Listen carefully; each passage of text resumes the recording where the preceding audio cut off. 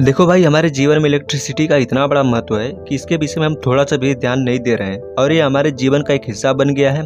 इससे हर व्यक्ति को इसके विषय में ज्ञात होना बहुत ज़रूरी है। हम तो बोल दिए बाकी आप सभी लोग की मर्ज़ी। यहाँ पर अभी आप देख सकते हैं कि थ्री फ़ेज़ की सप्लाई एमसीबी के आउटपुट की तरफ़ से बुरी तरह से जल गया है। जबकि इसके ऊपर लोड पैंतीस एम्पियर मैक्सिमम है और सिक्सटी थ्री एम्पियर का लगा हुआ है। और इसे जलना नहीं चाहिए।